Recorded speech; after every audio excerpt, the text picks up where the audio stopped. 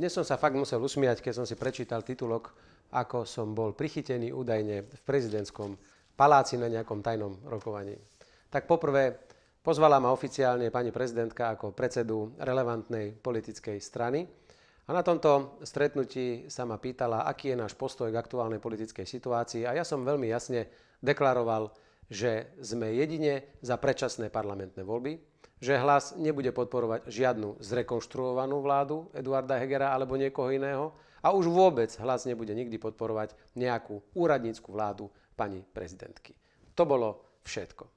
Neviem, kedy tam boli predstavitelia SAS a preto sa veľmi čudujem, že nielen niektoré médiá, ale aj dokonca niektorí poslanci, ktorí radi tárajú a hovoria o rôznych senzáciách, šíria rôzne konšpirácie, ktoré sa nezakladajú vôbec na žiadnej pravde ani na žiadnej realite. Ešte raz, hlas podporuje jedine predčasné voľby, hlas nebude podporovať žiadnu zrekonštruovanú vládu Eduarda Hegera a hlas nebude podporovať ani žiadnu úradnícku vládu pani prezidentky. Slovensko potrebuje predčasné demokratické parlamentné voľby a Slovensko potrebuje, aby sa mohlo nadýchnuť novú vládu, o ktorej rozhodnú len a len občania a ľudia, ktorí na Slovensku žijú a prídu k týmto voľbám.